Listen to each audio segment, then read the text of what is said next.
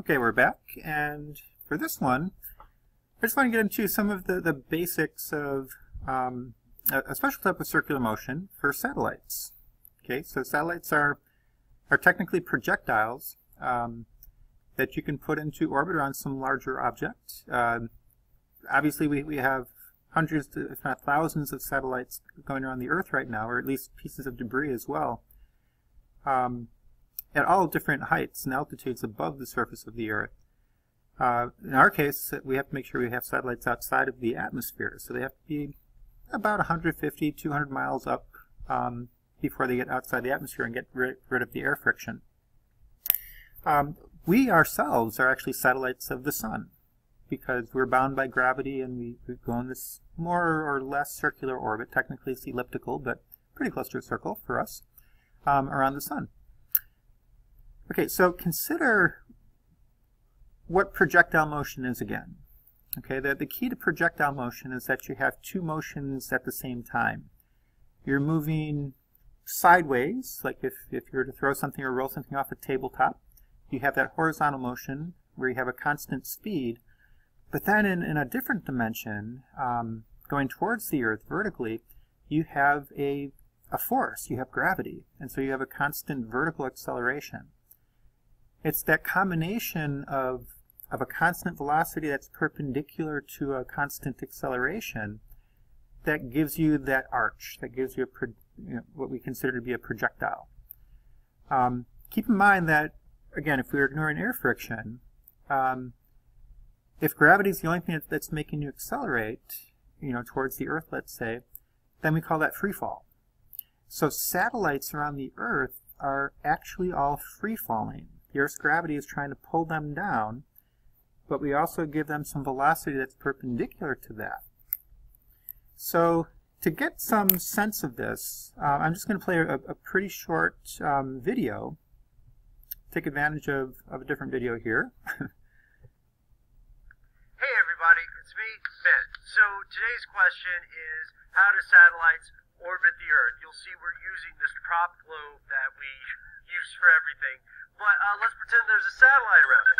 Satellites are, to some degree, mysterious objects, right? Orbital mechanics can also be mysterious because there's no easy way for us to experience orbital mechanics personally. However, with a little bit of imagination, we can understand the idea behind orbital mechanics very easily. So imagine what happens if you throw a ball.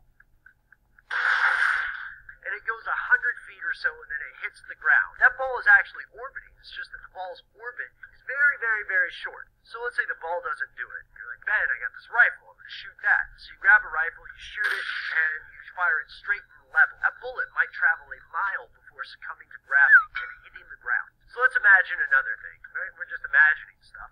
Let's say you had a very large, powerful cannon and it's able to give its shell an extremely high initial velocity. So you're shooting this cannon straight and the shell's going to go many miles, far enough to actually follow the curve of the Earth for a period of time before it hits the ground. So one thing that gums up these examples is air resistance. Like imagine if we took this powerful cannon to the moon, right? Because where else would we take our imaginary cannon? And we mounted it on top of the biggest moon mountain. Well, the moon has no real atmosphere. It's completely surrounded by the vacuum of space. If we adjust the speed of this cannon shell just right and shoot it perfectly, the shell would follow the curve of the moon exactly. It would fall at exactly the same rate that the curve of the moon falls away from it. So it would keep falling, but it would never actually hit the ground. In fact, eventually, it would curve all the way around and boom, jam right back into the back of the cannon.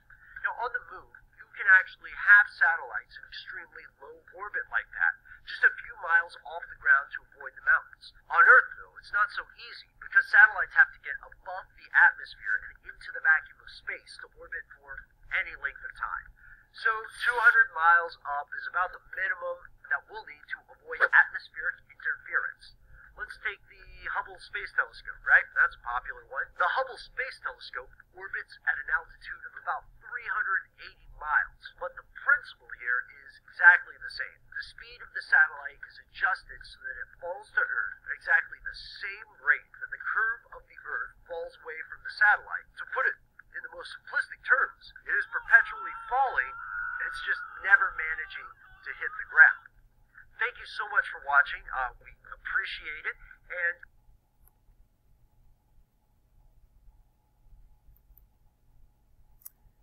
Okay, so that's that idea that satellites fall all the time because gravity is always acting on them. Uh, it's just that they're moving fast enough forward so that as they fall and, and they go into that curve that we see projectiles do, it misses the Earth because the Earth is round, and the Earth is also curving below it.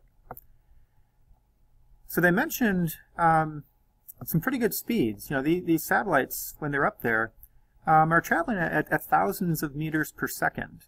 Okay, that's at magic speed so that as they move forward and fall, the Earth is also curving below it, so it never actually hits. Uh, this is just for the simplest case. If you if you could fine tune it so you get a, a circle, like a perfect circular orbit going around the Earth. Um, we know something about circular motion, and every time we do a circular motion problem, we start with exactly the same thing, mv squared over r. Okay, that stands for the net centripetal force acting on the object. Now in this case, the, the radius of the circle that the satellite follows is the combination of the radius of the Earth, if, if we're doing this for an Earth satellite, plus whatever height you are above the surface of the Earth. Okay, that's the full radius of, of that circle. And on the right-hand side of this, um, we have to write down whatever the actual force is acting on the satellite. Well, when you're in space, the only thing that, that does act on you is the force of gravity between you and, and the Earth itself. Newton's law of gravity is that gravitational constant, the famous big G number. We have the mass of the Earth, and then we have whatever the mass of the satellite is that you put up there. And that's divided by the distance squared between the centers of the satellite and the Earth. So that would be the same distance, the radius of the Earth plus the height of the satellite. That's the total distance between the centers. And we have to square that. We can simplify this a little bit, and if we solve for that speed, for the v,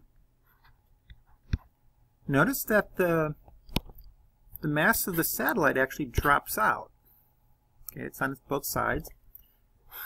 That distance is in our denominator on both sides, so one of those drops out. What we're left with is our gravitational constant, the mass of the Earth, and the distance between the two, the two centers at least, the radius of the Earth plus the height above the surface. And then we have to square root that. This is known as orbital speed, or the orbital velocity. Notice that for a given height, there's only one speed that you'd have to get that satellite going at um, to get into that circular orbit. Any other speed, too fast or too slow, it's going to leave that orbit and actually become uh, an elliptical orbit. Okay, notice also that it's an inverse relationship between the height above the Earth and the speed that you need to be in a circular orbit. So in other words, as you go higher above the Earth, a bigger radius, um, that would mean that you actually need a slower orbital speed. So, so satellites far away from the Earth are moving more slowly to keep their orbits than satellites that are closer to the Earth. Closer satellites go faster. Okay, so that, that's the, the very basics that we have here of, of this type of satellite motion. Um, remember, they're falling towards the Earth. They're always in free fall. That's why astronauts seem to be weightless because everything, the spacecraft and the astronauts, everything is falling. That's why they seem to float. It's not because there's no gravity. There's a lot of gravity. Gravity keeps them in orbit in the first place.